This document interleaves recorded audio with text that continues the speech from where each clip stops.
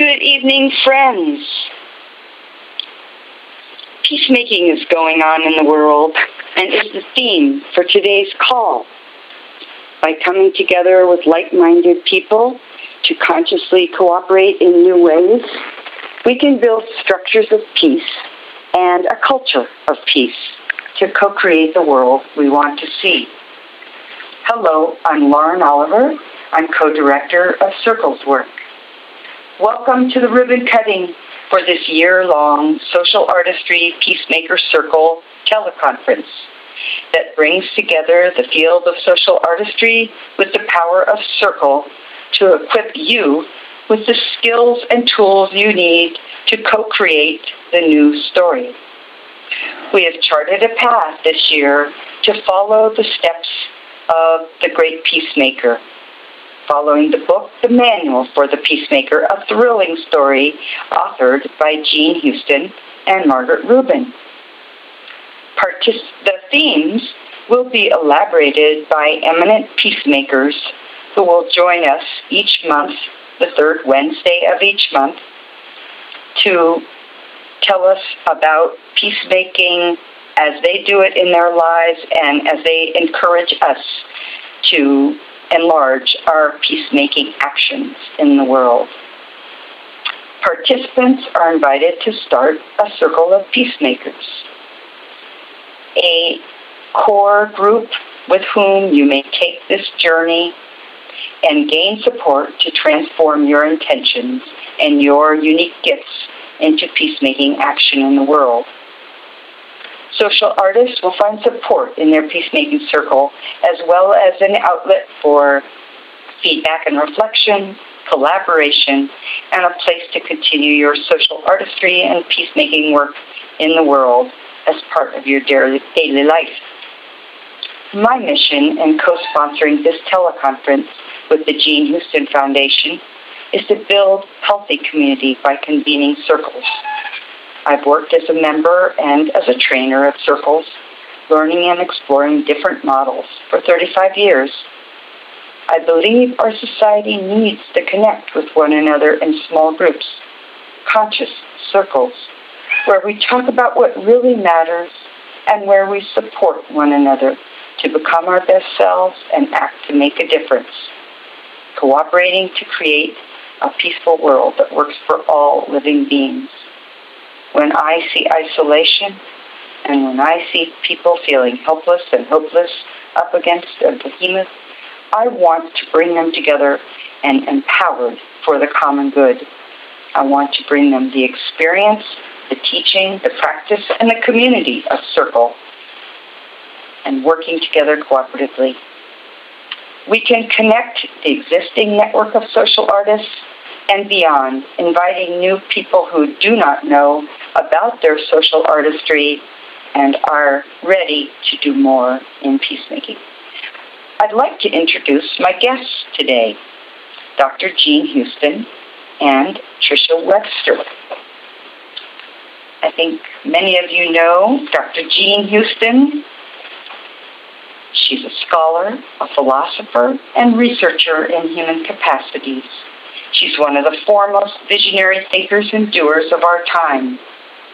She is the founder of a mystery school that began in 1983 and creator of the work known as social artistry. An inspiring and dynamic speaker, she is in demand worldwide. She has worked in over 100 countries, frequently in collaboration with the United Nations. She is a prolific writer and author of 26 published books, as well as many unpublished manuscripts. Jean is with us tonight to share some thoughts about how to be powerfully in circle and to get us started with the great peacemaker as he began his journey, strangely enough, in a stone canoe. I'd also like to, uh, to introduce, sorry, Tricia Webster. And many of you also know Tricia. She's a professional consultant, speaker, and coach who specializes in helping leaders and organizations develop their visions and translate them into action. Tricia has studied and worked with our speaker, Dr. Jean Houston, since 2001. She is a social artistry trainer for the Jean Houston Foundation. Her passion and work revolve around the development of our essence intelligence. Tricia, I'm so delighted you could join us this evening to center our circle. Thank you, Lauren. It is wonderful to be part of the circle tonight. And it's my privilege to guide you through an opening, centering meditation. And to do that tonight, I'm going to read you a poem that speaks to the idea of stepping into the open moment. And surely we're in an open moment right now. So I'll invite you before I read just to get comfortable wherever you are. Close your eyes, uh, and as you listen, treat the words of the poem as a promise, as if they're being spoken directly to you. So just breathe in these words now and please just receive them. This is Poem for a New Beginning by John O'Donohue. In out of the way places of the heart where your thoughts never think to wander, this beginning has been quietly forming. This beginning has been quietly forming, waiting until you were ready to emerge. For a long time, it has watched your desire, feeling the emptiness grow inside you, noticing how you willed yourself on, still unable to leave what you had outgrown. It watched you play with the seduction of safety and the gray promises that sameness whispered, heard the waves of turmoil rise and relent, wondered, would you always live like this? Then the delight when your courage kindled and out you stepped onto new ground, your eyes young again with energy and dream, a path of plenitude opening before you. Though your destination is not clear, you can trust the promise of this opening. You can trust the promise of this opening. Unfurl yourself into the grace of beginning that is one with your life's desire. Awaken your spirit to adventure. Hold nothing back. Learn to find ease in risk. Soon you will be home in a new rhythm, for your soul senses the world that awaits you. So I'm going to ask you to quietly repeat to yourself inside a few of the key words from that poem. So I'll read them once and ask you to repeat them and speak them for yourself into our circle. This beginning has been quietly forming. My eyes are young again with energy and dream. A path of plenitude is opening before me. I can trust the promise of this opening. And from this place of opening this evening, of beginning, will you now just reach out in spirit to connect with all of those here in our circle, heart to heart? And into the center of this circle, send now your intention for deep learning and growth for yourself and for everyone participating here tonight. Just send it into the circle, sending it in. Doing so now and knowing that we hold this intention collectively for each other, both as individuals and as a whole circle. So, in the words of John O'Donohue, awaken your spirit to adventure, hold nothing back. You can trust the promise of this opening. And so we begin tonight. Thank you. Thank you, Tricia that was indeed a marvelous centering for our circle, an invitation to this new beginning. And I thank you for creating sacred space for us to share together this evening. As you all sense, centering is an important convention we use as part of our circle practice to establish our intention and focus energies to the heart of the circle, just as Tricia invited us to do. Each time, there are many ways we can center our circle and create sacred space, and you're encouraged to do this each time we meet in circle. Ordinarily, we next move into check in our small face to face circles of 8 to 10 people. We want to hear every voice, include each member fully, and get a sense of where this person is coming from today, who she or he is today. Uh, we will not do this this evening on our virtual circle. It would take an enormous amount of time, but please know that you are welcome. Your individual voice is welcome. And you will have a chance later.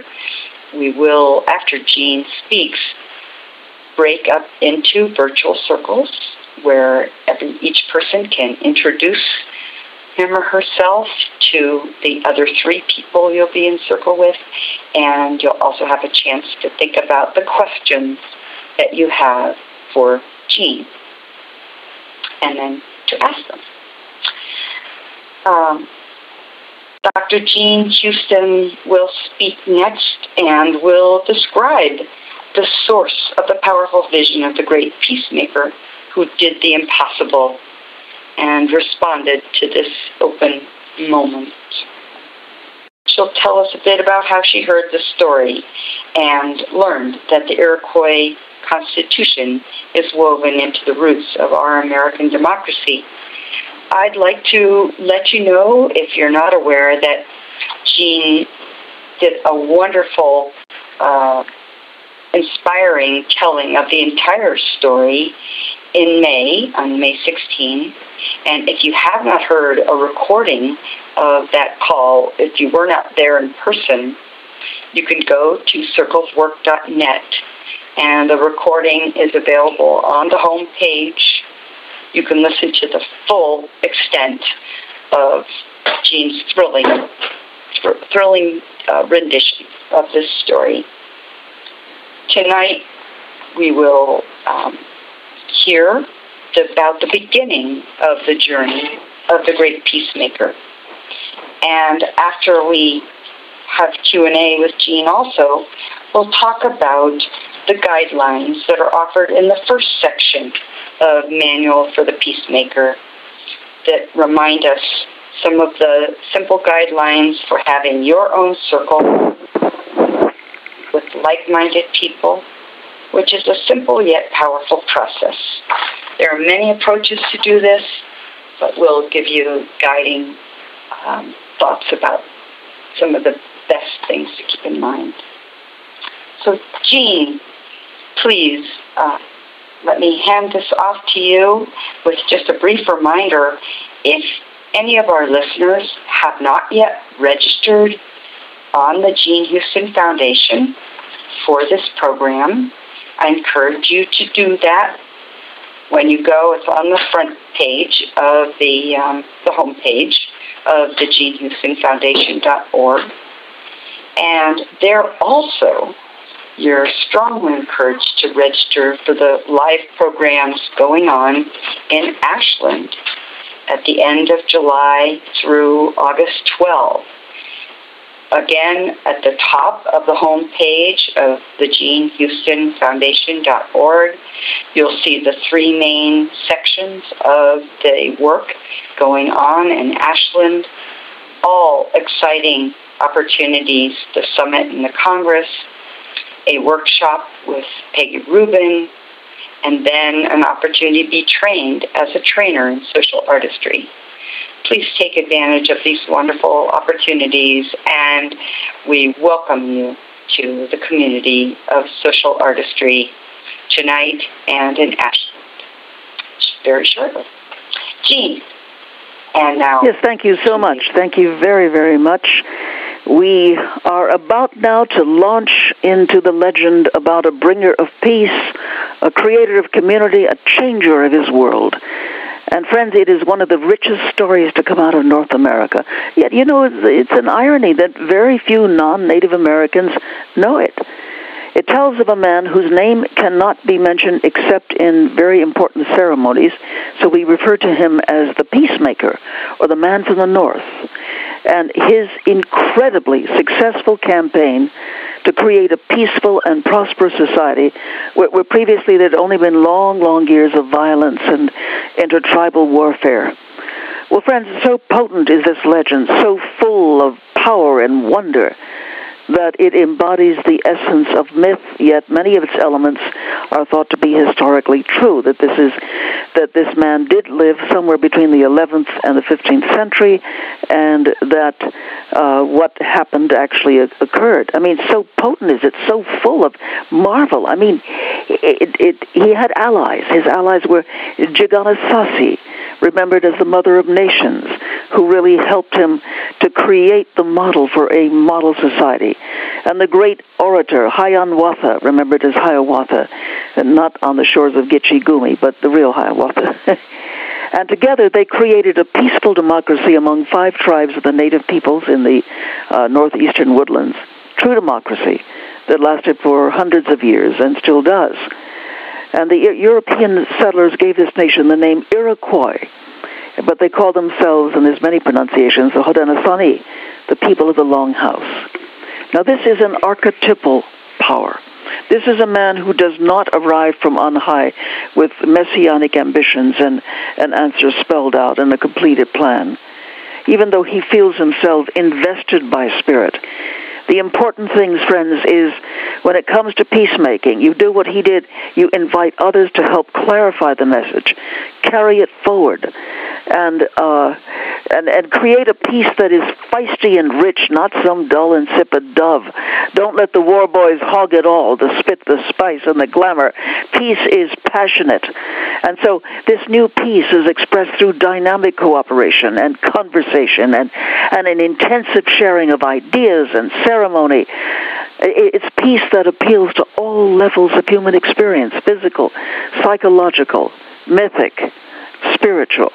And so powerful was this story, and so powerful is what happened with the Iroquois. Ben Franklin used to attend their council meetings, and he came and he said, as the, those the others who were starting the whole American dream, this is the model that we should build upon.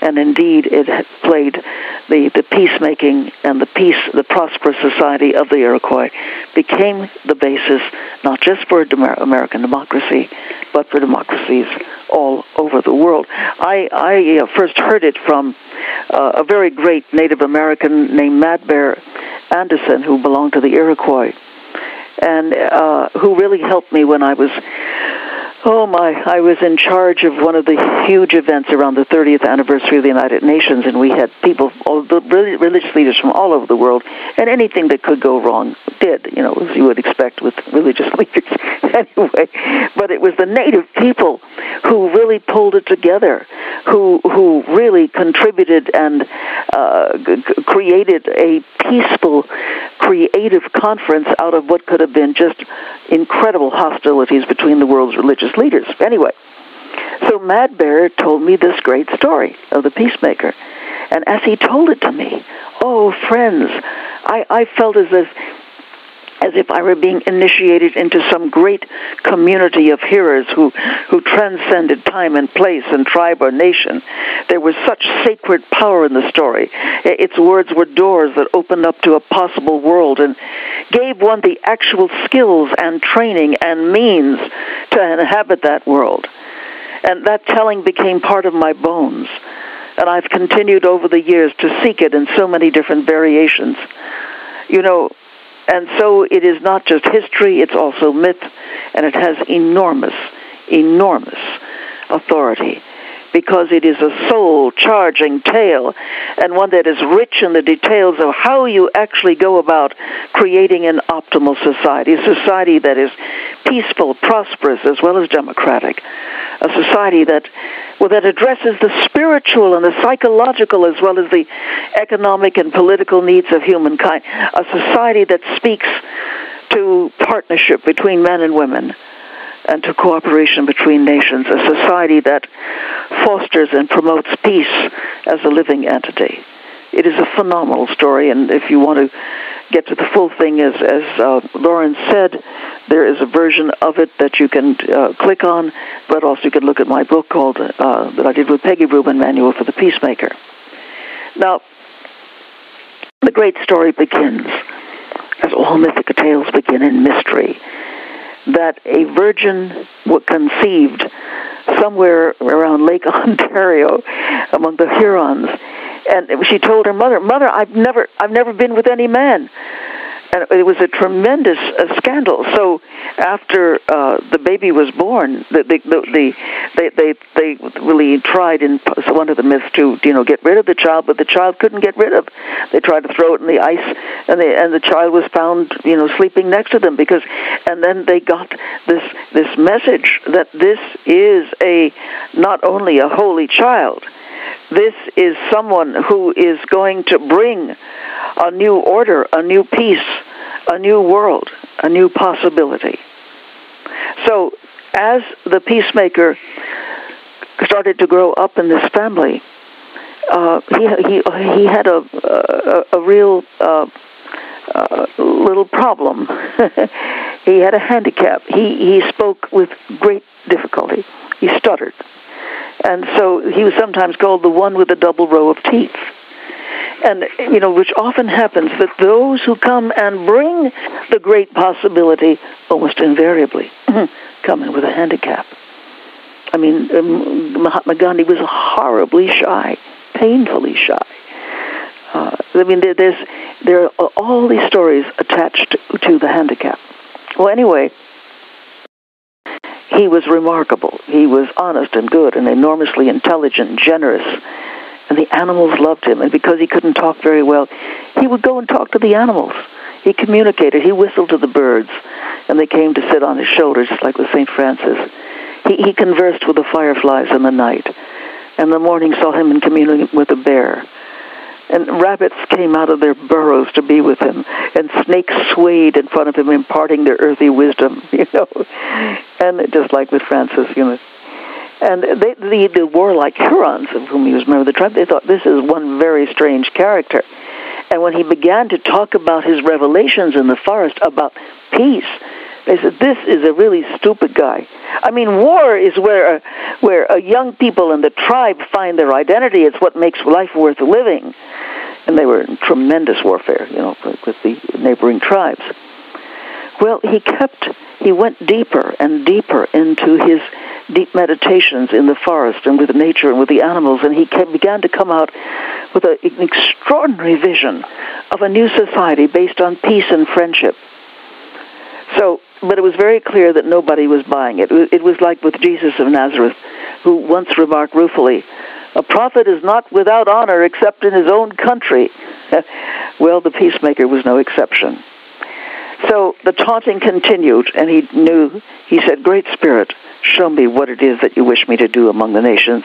Show me the plan of my mission. And he started to get the plan.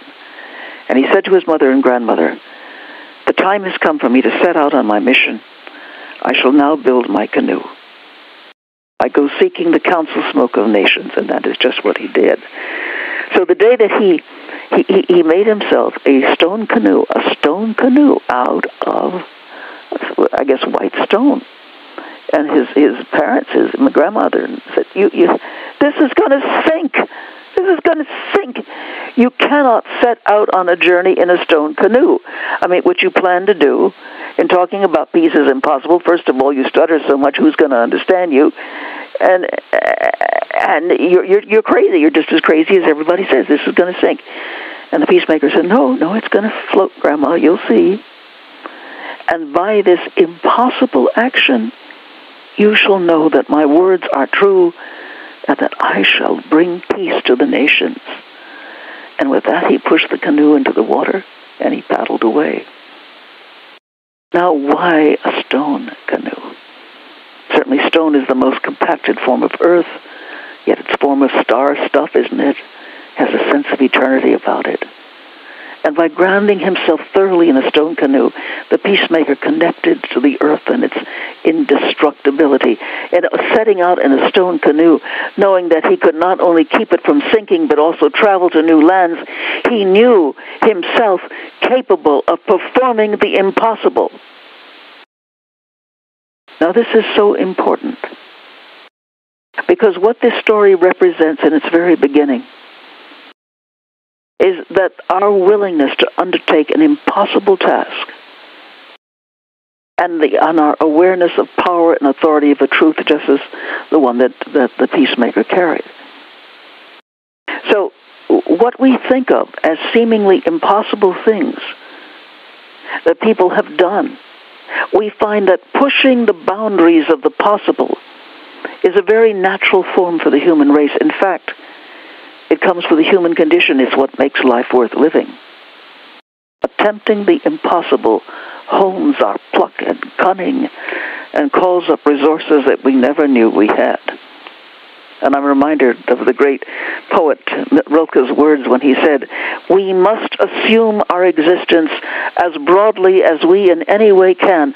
Everything, even the unheard of, must be possible in it. This is at bottom the only courage that is demanded of us. We have to have courage for the most strange, the most inexplicable. And surely, my friends, we are in the time of having to do the impossible, are we not? With all the challenges, with all the complexities, with the ecological, the economic, with the with the sense of the enormous conflict that is there. But you know, look what's happened in your lifetime especially some of the longer lives like mine. The discovery and exploration of, of the full earth, both in its microcosm and its macrocosm. The finding of cures to fatal diseases, the creation of the United Nations, the linking of the earth's people through the electronics, the conquest of hundreds of years of prejudice. The, uh, the you know, it is we are startled at the vision of what people are doing all over the world. And I know you just get the horrible news of the bad things, I can assure you. And I'm in a position to say this. For every bad thing that you hear about, there's a thousand good things going on. Oh, yes.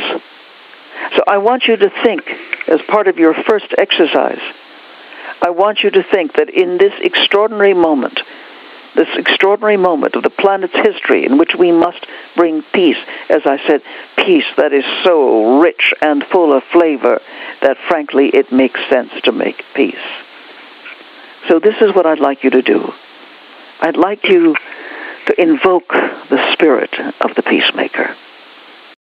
Invoke the spirit of the peacemaker. Allow the peacemaker to enter fully into the lake of your heart granting you something of what he said was possible. New mind, new heart, new understanding of the message, the challenge, the task of peacemaking. And I want you to, and this is something that you can do in your talks with each other in a few minutes. I, would like you, if you can, at least with one hand, the other hand is probably holding the phone, to take a paddle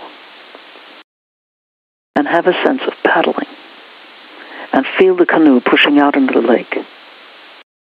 And as you paddle, think or speak of something that you have done in your life that seemed impossible at the time, but you did it. So do that.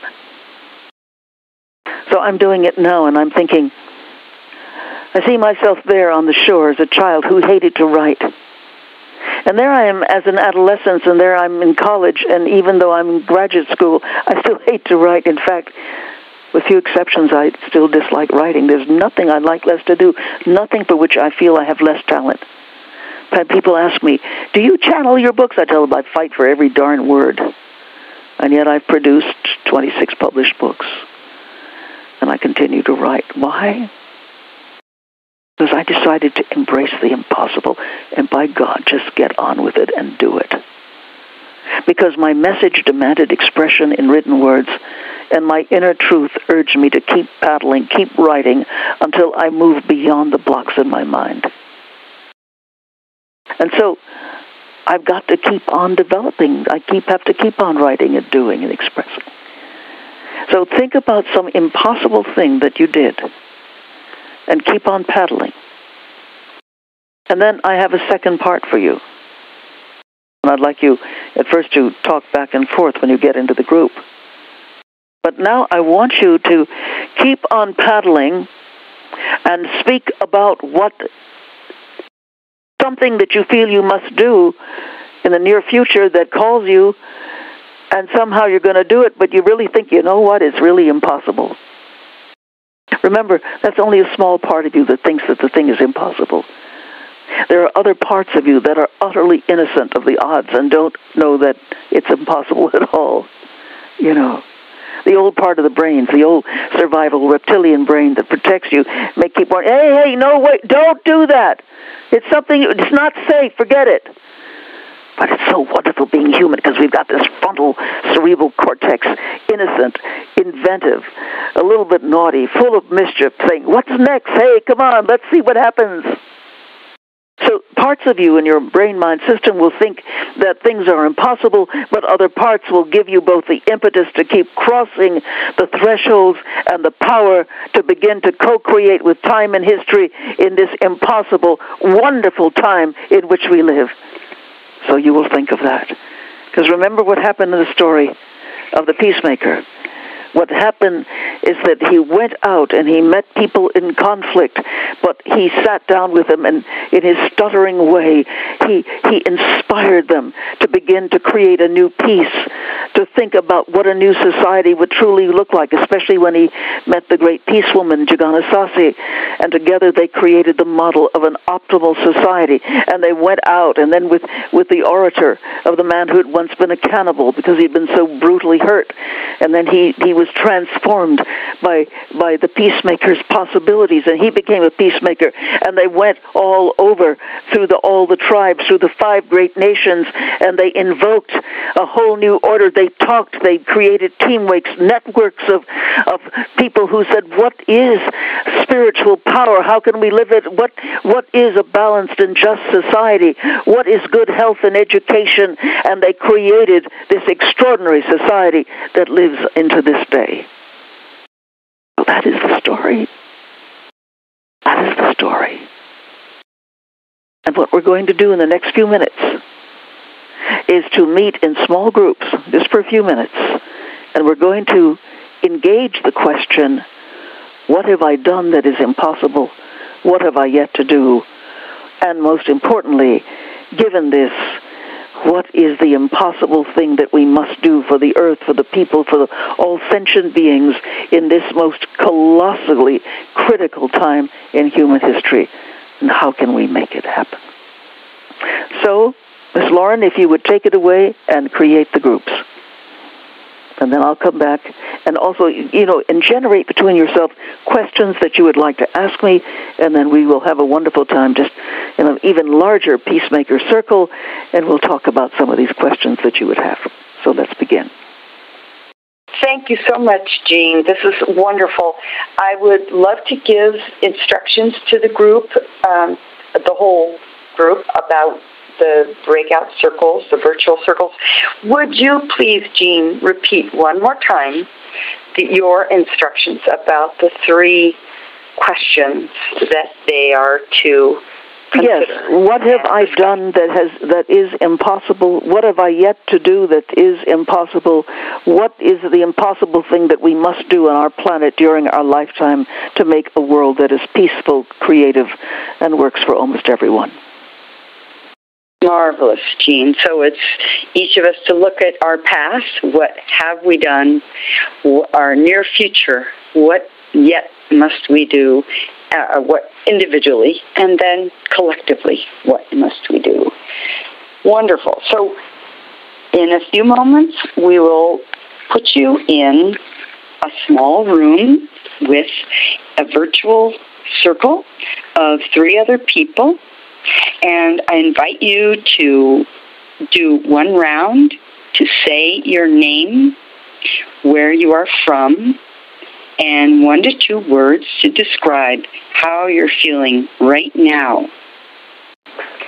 Then do a second round, please, and say, What have I done And what have I yet to do to create the, to do the impossible?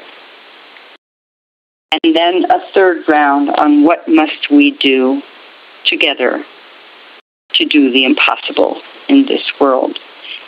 And as Jean asked, you know, bring some questions back from your circle also. Um, let's take 10 minutes for this circle. So it's not a lot of time. One round to check in your name, where you're from, and how you're feeling right now. A second round on doing the impossible, what you have done, what you will do. And then a third round, what we will do. And the questions for Jean.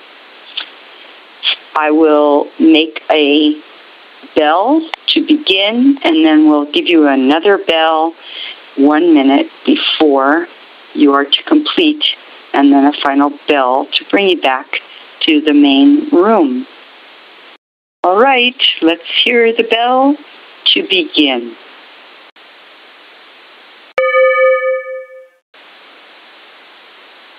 Welcome back from your virtual circle.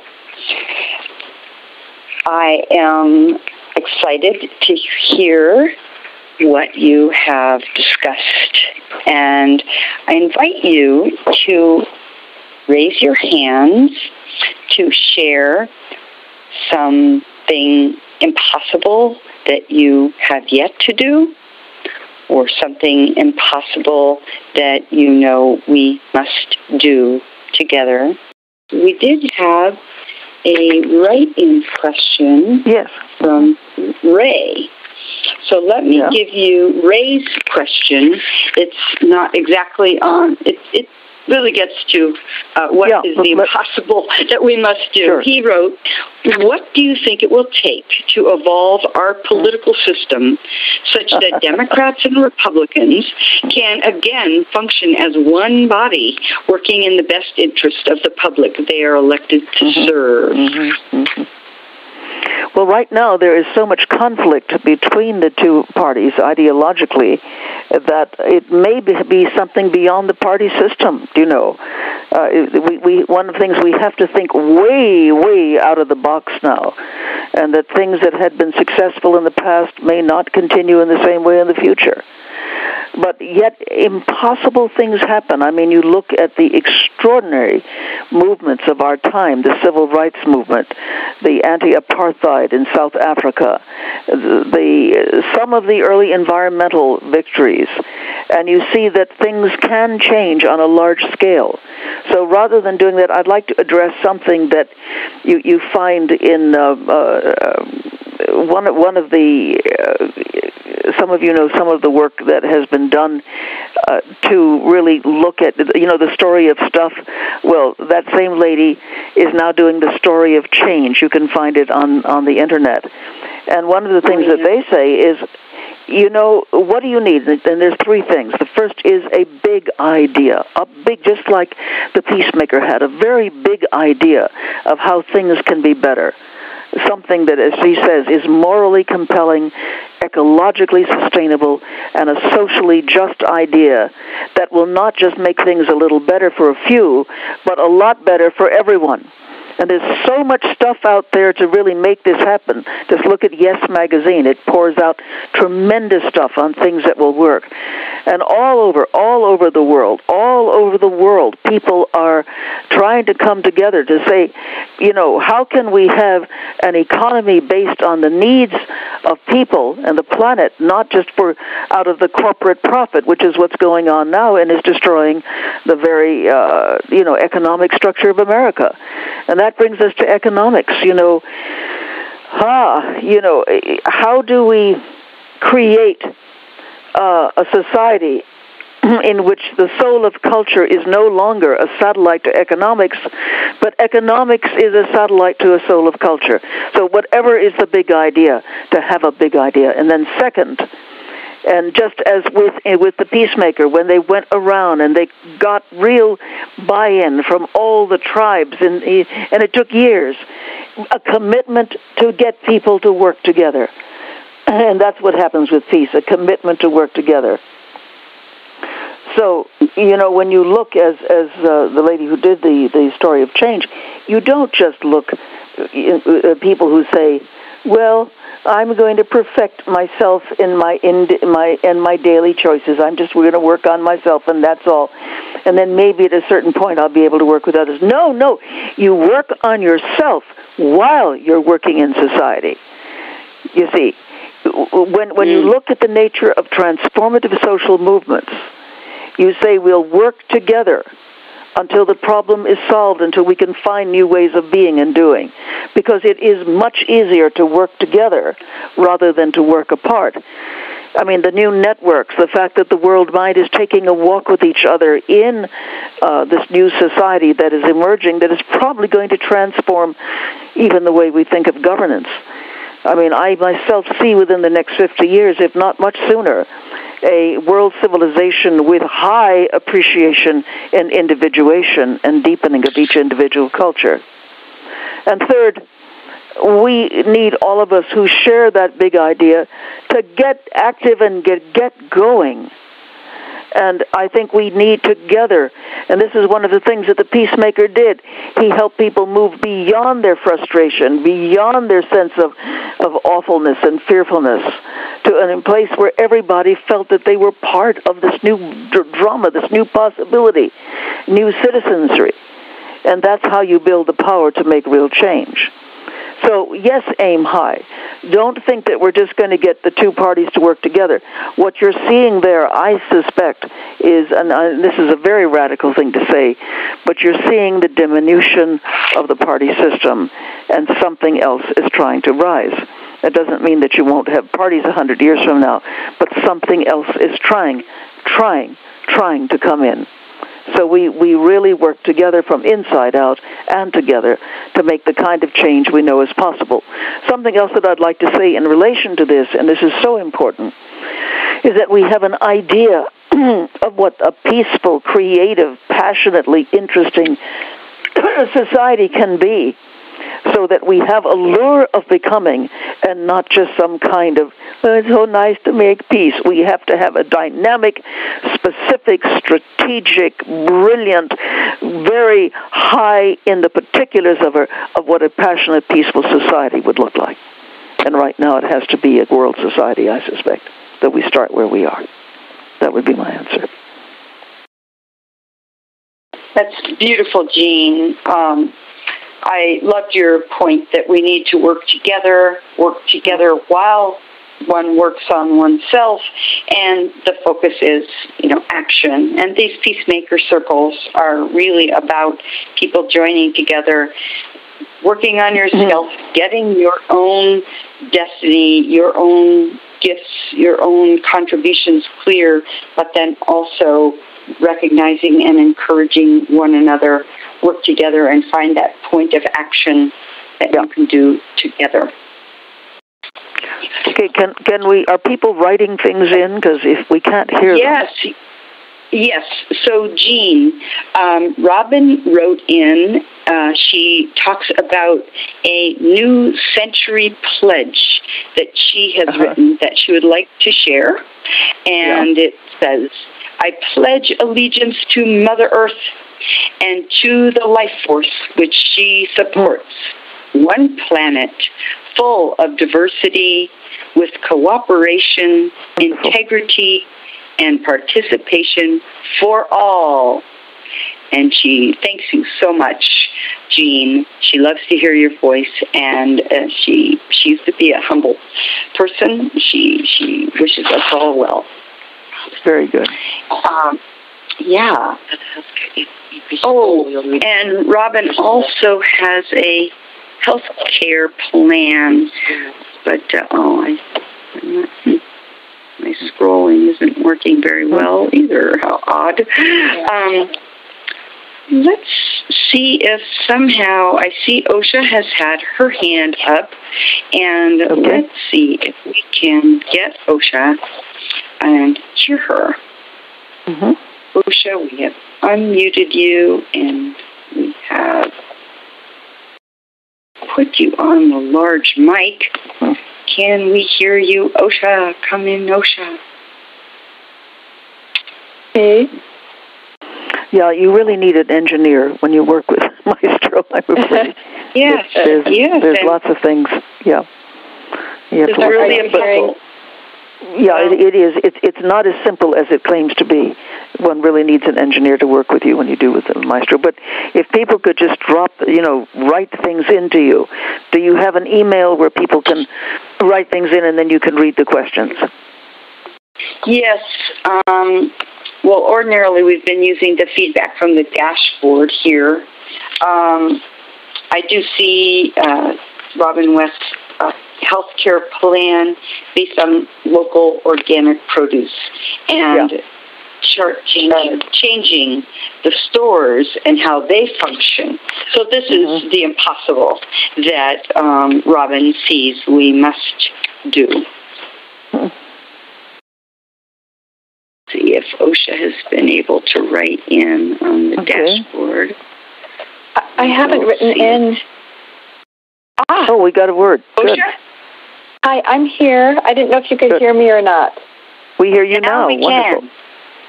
Okay, I'm not on the dashboard. I, I, um, Just I wasn't speak able to get on the louder so dashboard. we hear okay, you. so We all right, can I'll hear speak. you. I'll speak. So I was going to speak to that um, question of, you know, doing the impossible. And as I thought about it, I realized that one of the things that is probably the thing I feel the best about that I've done that has seemed impossible is in mediation and sitting in a room with various parties you know, who come in at war with each other and investing a lot of energy making each other into, you know, the enemy. And um, and what I really, really loved was discovering that by facilitating your conversation, you could you you could watch them turn the corner and begin to use the same amount of energy that they use in making each other the enemy into finding ways to contribute to each other, to contribute to a collaborative solution. And um, and it's I, I and I think you know others would probably have given up before I did, but somehow you know in me there is a very tenacious piece of holding that holding that space for it to happen. Um, so. I think that's the impossible thing that I want to to to continue forward with, um, perhaps on a larger scale. Mhm.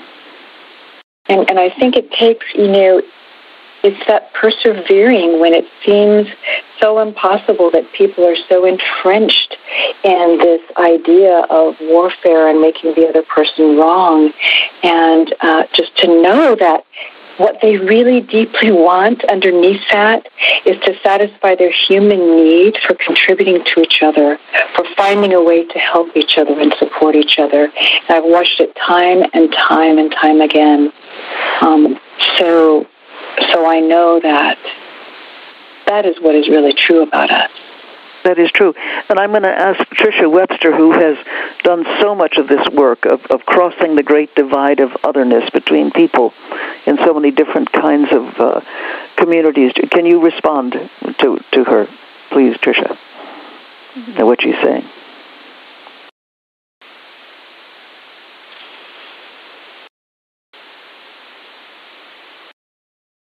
Uh, Tricia can come through while she's on.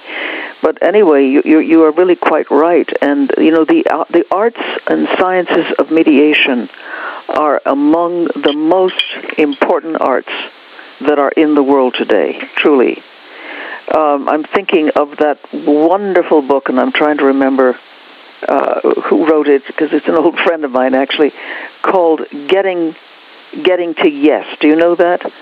Going beyond oh, no. Fisher. Fisher. Yeah. No, not not, not, not uh, Fisher. Who, uh, who is it? It's uh, Bill. What's Bill's last name? I used to know Bill. Anyway, but th- there's so much in in the in those books. Um, and then you have the the nonviolent c- communication books. Marshall But Rosenberg. uh, it, you know, he, I think it's about how. Yeah, it, it's it's uh, yeah, Roger. It was Roger Fisher, right, and and Bill Ury, who I used to know. Uh, very very powerful books of, of really straightforward, universally applicable methods for negotiating in in in dis, in uh, disputes without getting caught up. And it starts with, and it's very, really excellent, step by step proven strategies for continuing to mutually acceptable agreements in any kind of conflict whether it involves parents and children or neighbors or bosses or employees or customers or or diplomats and uh, that comes out of a tremendous project known as the Harvard Negotiation Project. And uh, they, they continuously deal with all levels of negotiating conflict. But there's really been, as you, you're rightly saying, a revolution in understanding how to do this. But if you also really, you folks really work together or create your own groups based on my little book, Manual of the Peacemaker, you're going to find all kinds of very dramatic ways to shift from conflict to coherence to go from chaos to cosmos, and above all, to cross the great divide of otherness and realize that ultimately we are all inseparable. I think. That, that's so true. That's so true, Jean and Osha. Um, beautiful comments, and I um, in in the circles, in the peacemaker circles.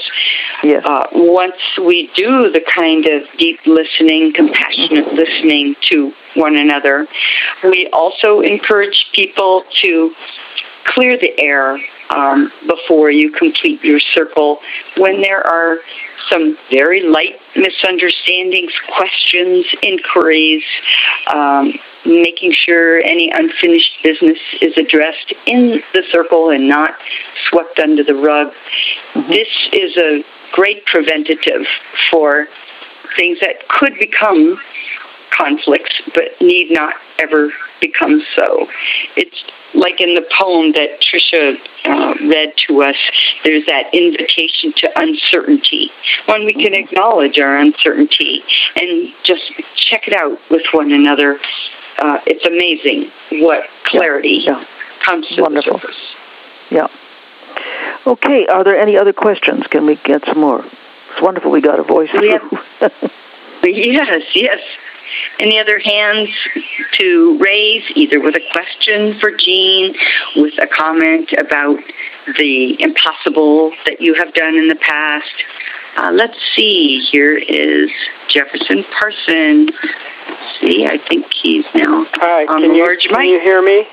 Yes, we hear you fine. Good. Okay. Well, I'm a little confused. First of all, because we shared our our impossible tasks and our impossible uh, visions with our group, and I guess that was not heard. As now we're being asked to say them again, or what's the story? No, what you can do is just share a little bit of what came up in the group about the impossible things that you've done. That would be very Oh. interesting to hear. Okay. Well, I'll just talk about my own and Okay. let the other people bring forward theirs. Was Sure. that um, I, I um, first I was very inspired by your talk, Jean, and uh, but secondly, um, personally, um, I taught myself to be a stone carver. That's Oh, why wonderful. the story of the stone canoe was fascinating Yeah. to me and inspiring. Um, that seemed pretty impossible at the time, and then in my second incarnation as an artist, I've, I've been uh, I'm becoming a songwriter and a musician, and so that's exciting as well. As far as what I see as um, my my role, what pains me more than anything else in the world, I think, is the the maiming and killing of innocent people, and I see this going on now, particularly with the drones. And uh, I, I, I want to somehow help to stop this, and uh, all I've been able to do so far is to begin a song about it. But then, for for the collective, I'd like to uh, work collectively on that, and the peace projects collectively. Um, and another collective goal I see was we need to move from the big idea of making money to the bigger, more important idea of of of satisfying, you know, of, of, of helping people realize what they achieve, what they need, you know, in in the world, and and, and overcoming hunger and all of that, and that we need a, a major, major paradigm shift. And and uh, you know, my question to you is like, is how how are we going to bring this about?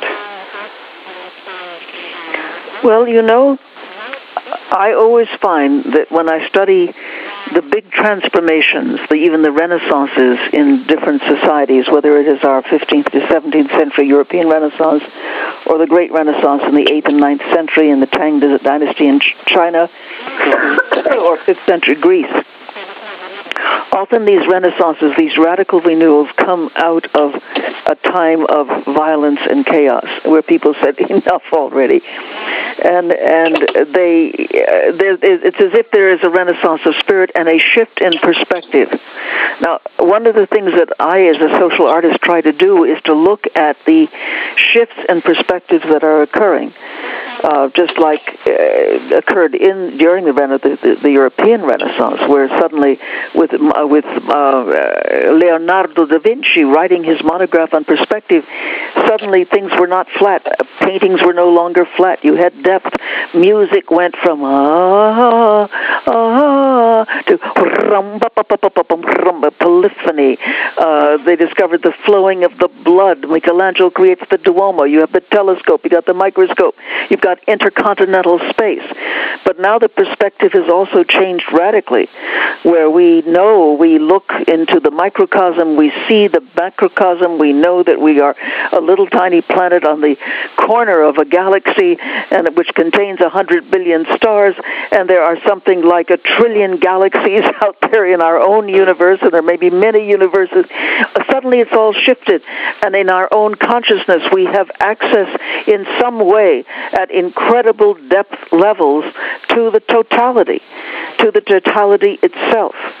What I do in my work is try to engender a passion for the possible while discovering what that possible is. Now, who knows these things? Is it scientists? No, it isn't, because they they are often caught in a certain kind of kosher t- tunnel vision, and they regard anything beyond it, just like the Catholic Church regarded Galileo, as superstition. But what we do find is it is always the artists who lead the way you speak of yourself, you know, as as as the songwriter and as the stonemason and the stone carver.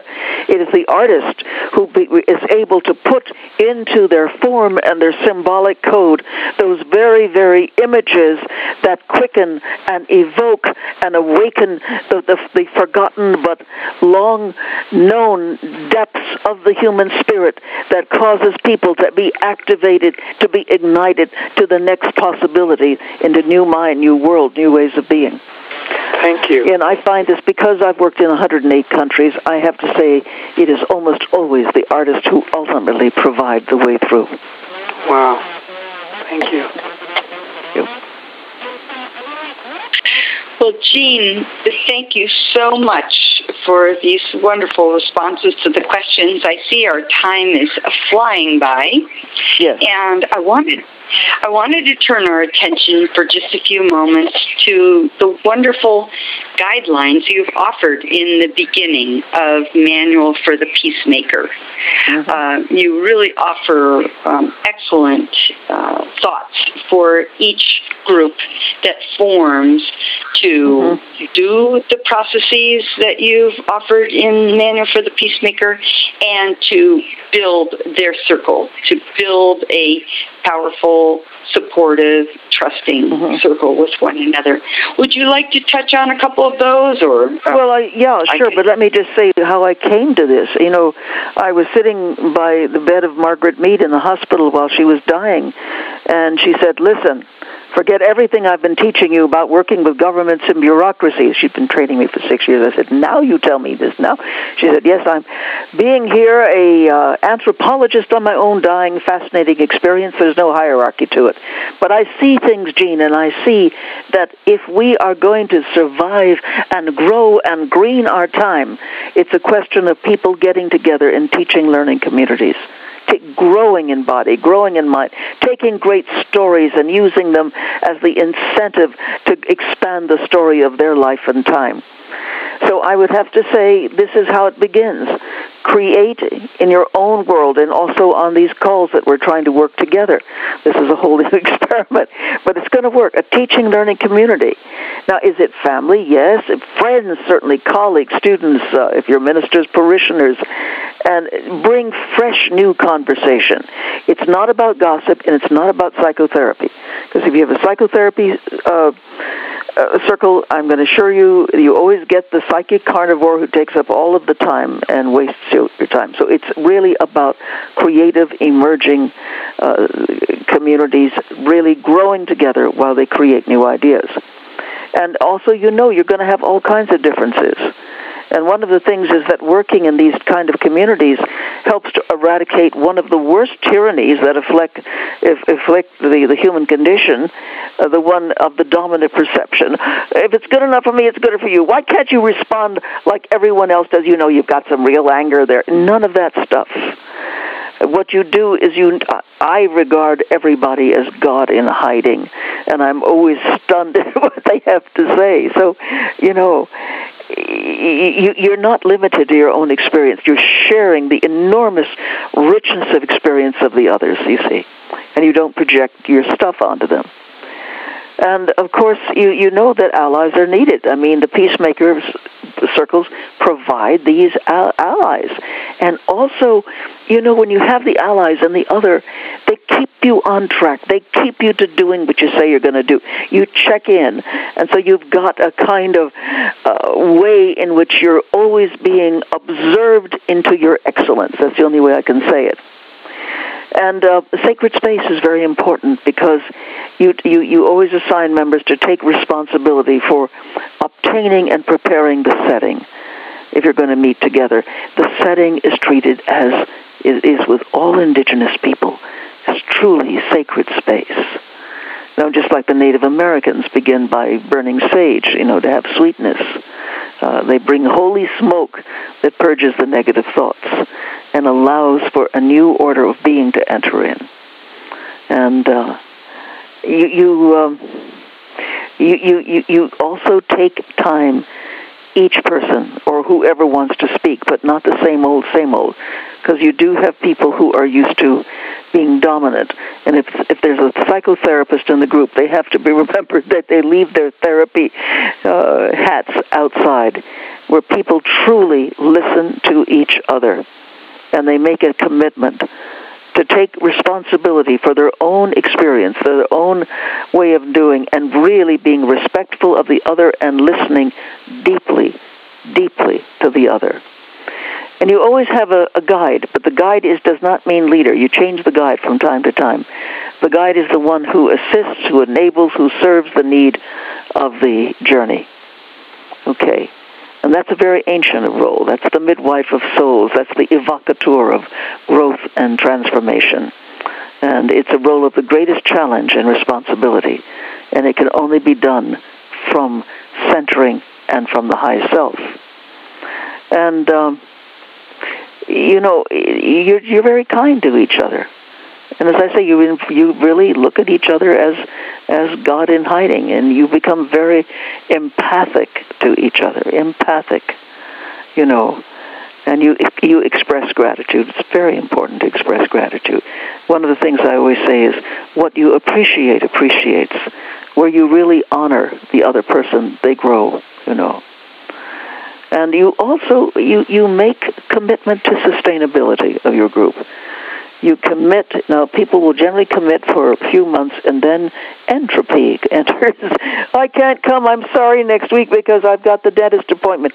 The dentist appointment will always arise at the wrong time. You have to know that. But you really make a sacred commitment to be there, show up, be there for each other. So, and I, I think that with the help, Lauren, of, of this um, not only having people create their own peacemaker circles, but joining in what we're trying to do together as we use this, I think, pretty interesting book, uh, uh, Manual for the Peacemaker, and it has tremendous exercises, very powerful.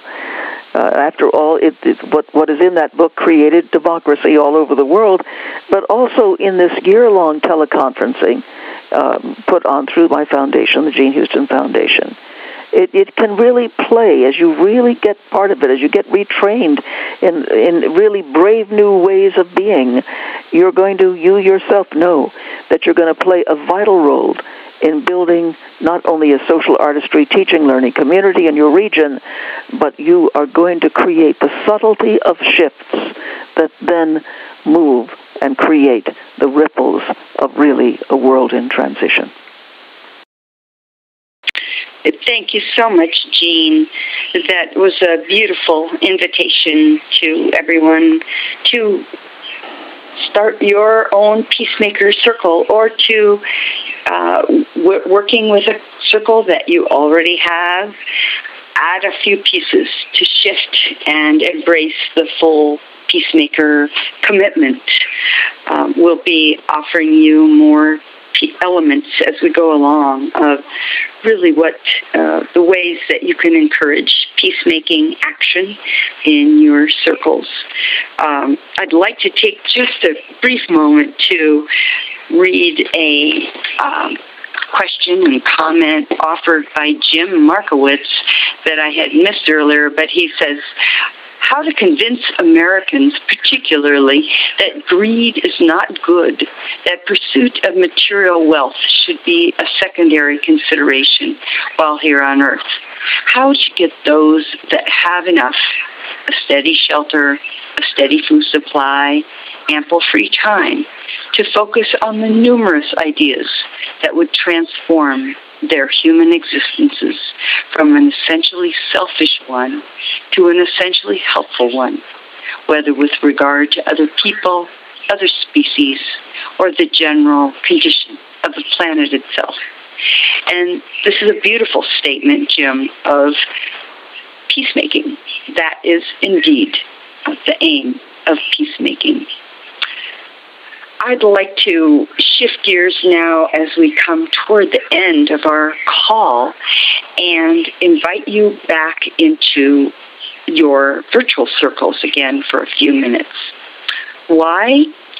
To complete the circle as we always wish to complete, and as Jean spoke of a few moments ago, to express gratitude and appreciation what you appreciate appreciates, as she said. And it's so critical that we recognize that so often in our society there's a scarcity economy of appreciation operating.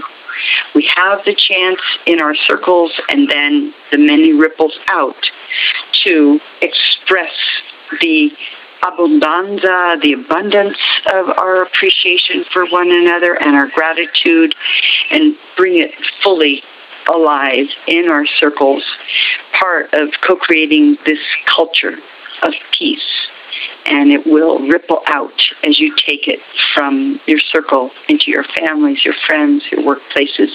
So let us go now for about four minutes into your circles and the virtual circles, and please take a turn to express a self appreciation or an appreciation for someone else that you've been sitting in circle earlier when you talked about doing the impossible. And the way we ordinarily express an appreciation, we say the person's name, we ask if they can hear it. It's like knocking on the door before entering. And then we say what we appreciate, what we're grateful for from that person or from ourselves. And then don't don't get tricked into responding. Just breathe in that appreciation. Breathe it in, let it expand and be fully alive. So now let's hear the gong, enter your circles, and when we come out, then we'll come back to the main room and um, just express appreciation for Jean and for one another uh, before we close our evening call into our groups. Jean, would you like any closing words? Well, I think this is the time and place and the most interesting time in human history. You know, other times thought they were it, they were wrong, this is it. where what we do will profoundly make a difference as to whether we really create and are in tune with what is trying to emerge, or we we get very boring and we bore God and we just sit back and hope that something nice will happen. Hegel wrote about world historical individuals, people whose particular passion corresponded to the passion and the turnings of the times, and out in front or behind the scenes, they became the entrepreneurs of progress. They became the ones who, ah, stayed in alignment and profoundly made the difference. So I believe that what is beginning here can go out, out, out in powerful and beautiful and extraordinary ways, and truly, truly, truly can make the difference. So what I say is let's do it. Let's do it. We have to do it. Marvelous. Marvelous, Jean. Thank you. Thank you so very much for being with us this evening. And I invite all of you who, me. You're so very welcome. And may I just invite everyone here one more time to please go to the Jean Houston Foundation website. Please, if you have not yet registered for the Peacemaker Circle program, please do that. Uh, your $75 will help keep this program going. And um, we would love to support you in any way we can to launch your own Peacemaker Circle, your local face to face support for you as we move into doing the impossible. We must join together and work together to do this, and we can make a difference. So please do sign up and please also consider coming to Ashland we are going to have wonderful gatherings there. It's and so by the way, I'll I'll be teaching also in that program, in case. after Marvelous, Jean. After All right. August fourth, yeah. Mhm. after August fourth. Great. You Well, I come back from Germany on August fourth, where I'm teaching, so I'll I'll the, the, I'll be also one of the teachers in that program. All right, wonderful. Thank you. And let us now open the mics for everyone. Let us say our thanks and our goodbye for everyone. Okay. Thank you. Thank you. Thank you. Thank you, everyone. Thank you. Thank you. Hey, Great and deep gratitude Make to me everyone. sexy. make it possible. Thanks for being raised of hope. Thank you. Blessings. All right, thank you. So glad to have you here. Bye bye. Oh, Bye. Jesus. Bye bye. Many blessings, brothers and sisters. Joy Jinx.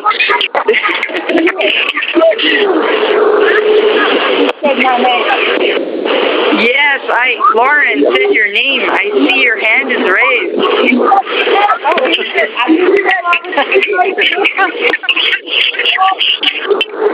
I'll see you next. Sweet dreams. Good night, everyone. And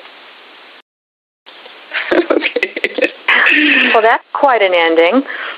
That was that was sounded like someone was at the circus or on the street corner or something. It was wild.